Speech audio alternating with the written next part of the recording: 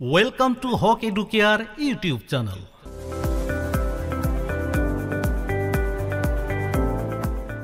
আজিৰ ভিডিঅ'ত ছল্ভ কৰিম mathematics class six lesson eleven decimal fractions অৰ্থাৎ দশমিক ভগ্নাংশৰ page number two hundred twenty two অৰ্থাৎ দুশ বাইছ নং পৃষ্ঠাৰ এক্সাৰচাইজ বা অনুশীলনীৰ কুৱেশ্যন নাম্বাৰ ছেভেন তো এয়া page number two hundred twenty two এইটো পেজত ওপৰত কুৱেশ্যন নাম এক্সাৰচাইজ আছে। এক্সাৰচাইজৰ question number one two three four five ছিক্সলৈকে আমি আগৰ ভিডিঅ'বোৰত ইতিমধ্যে ছল্ভ কৰিছোঁ। যদি এতিয়া আপুনি চোৱা নাই সেইবোৰ চাই ল'ব পাৰে। আজিৰ ভিডিঅ'ত আমি ছল্ভ কৰিম কুৱেশ্যন নাম্বাৰ ছেভেন তো ইয়াৰ বাবে আমি যাব লাগিব বেলেগ এটা পেজলৈ তো ইয়াৰ question number seven question number seven ভালদৰে পঢ়ি ল'ব লাগিব।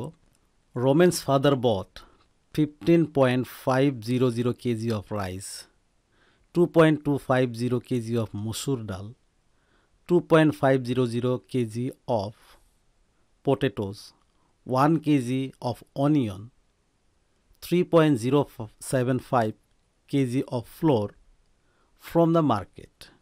What is the total weight of the things he bought?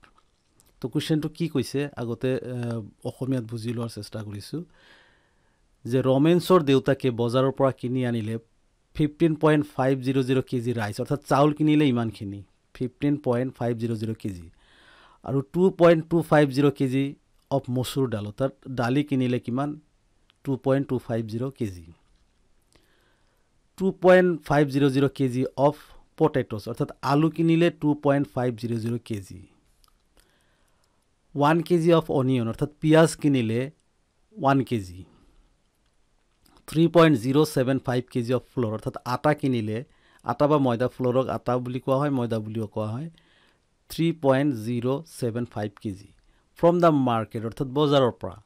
তো আমাক কৈছে what is the total weight of the things he bought তেখেতে যিমানবোৰ বস্তু কিনিলে গোটেইখিনি বস্তুৰ ওজন একেলগে কিমান হ'ব? ট'টেল মুঠ ওজন কিমান হ'ব গোটেইখিনি? তো আমাক কি কৈছে ইয়াতে বস্তুৰ ওজন জুখিব কৈছে গোটেইখিনি মিলি কিমান হ'ব টকাৰ কথা কিন্তু কোৱা নাই। তো আমি ইয়াক ছল্ভ কৰিম এনেধৰণে। প্ৰথমতে আমি লিখিম ৰমেন্স ফাদাৰ বট এইবোৰ লিখিব গ'লে অলপ বেছি ঠাই লাগে আপোনালোকৰ কপিত বা বহীত হয়তো ঠাইৰ অভাৱ পৰি যাব। শ্বৰ্টত আমি লিখিব পাৰোঁ হি বট এতিয়া ৰমেন্সৰ ফাদাৰ বুলি কোৱাৰ লগে লগে আমি প্ৰনাউনটো ইউজ কৰি দিওঁ হি হি বট তেখেতে কিনিলে ৰাইচ প্ৰথমতে কি কিনিছে ৰাইচ হি বট ৰাইচ ইকুৱেল চাউল কিমানখিনি কিনিছে? এইটো fifteen point five zero' zero' KG. হ'ল এতিয়া সি বট আমি কমা দিলে হৈ যাব ৰাইচৰ পিছত কি কিনিছে? ডাল মচুৰ ডাল। মচুৰ ডাল মচুৰ ডাল কিমানখিনি কিনিছে? এইটো ছেকেণ্ডটো। পইণ্টৰ ঠাইত আমি যদি পইণ্ট দিওঁ পইণ্টৰ আগফালে আছে টু আমি টু লিখিম। পইণ্টৰ পিছফালে আছে টু ফাইভ জিৰ' কেজি। কেজিৰ ঠাইত আমি কমা দিলে এইটো কেজি বুজায়।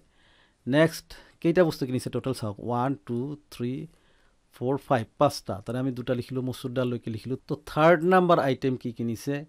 Two point five zero' zero' KG of potatoes অৰ্থাৎ আলু কিনিছে। হি বট পটেটছ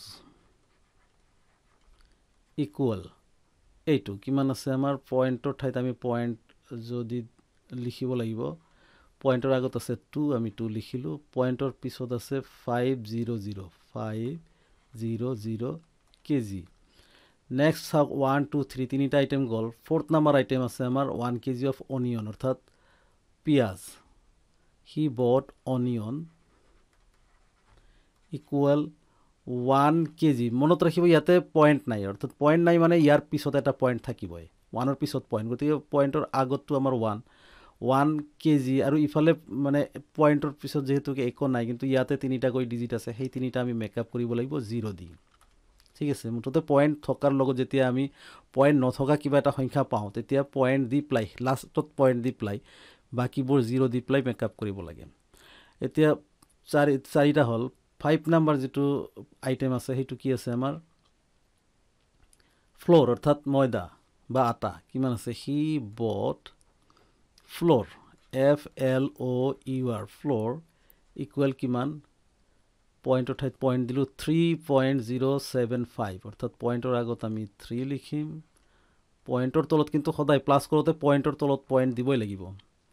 আৰু পইণ্টৰ পিছত আছে zero' seven five K G তো আমাক কৈছে কি টোটেল ৱেট টোটেল ৱেট মুঠ ওজন কিমান? তো সেইখিনি আমি এতিয়া যোগ কৰিলে টোটেল ৱেটটো পাম। আমি লিখিম টোটেল ৱেট ইকুৱেল এতিয়া আমি প্লাছ কৰোঁ। জিৰ' প্লাছ এই জিৰ'ৰ পৰা আমি নলওঁ অকল নেচাৰেল নাম্বাৰকেইটা আমি ল'ম। ফাইভ অকল জিৰ'ৰ লগত ফাইভ প্লাছ কৰিলে আমি কিমান পাম? ফাইভে পাওঁ।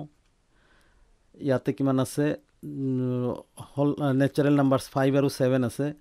ফাইভ প্লাছ ছেভেন টুৱেলভৰ টু কেৰি অভাৰ থাকিল one one plus five six plus two eight plus five থাৰ্টিনৰ three carry over থাকিল ওৱান ইয়াতে পইণ্টৰ ঠাইত আমি পইণ্টৰ তলত একজেক্টলি পইণ্ট বহুৱাই দিব লাগিব।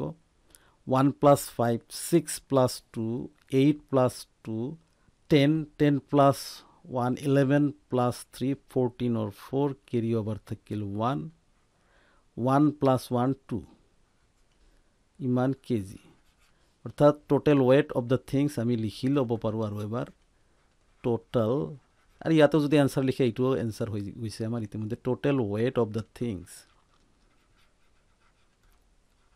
of the